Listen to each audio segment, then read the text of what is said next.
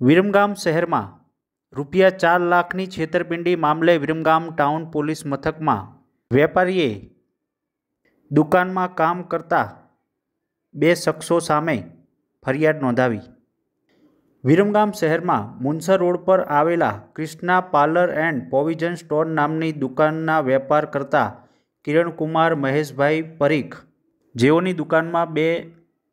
લોકો કામ કરે છે. જે દુકાનનો ગલ્લાનો વકરો રોજ આશરે પચીસ હજાર લેખે દસ દિવસનો કુલ બે લાખ પચીસ હજાર વકરો તેમજ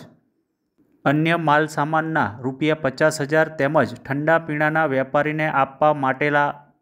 રૂપિયા એક લાખ એમ કુલ મળીને રૂપિયા ચાર લાખના હિસાબ સાથે રૂપિયા ચાર લાખ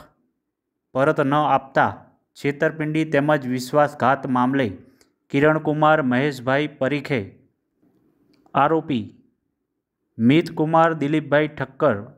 તેમજ ગિરીશકુમાર ચંદુભાઈ વાઘેલા સામે વિરમગામ ટાઉન પોલીસ મથકમાં ફરિયાદ નોંધાવી છે.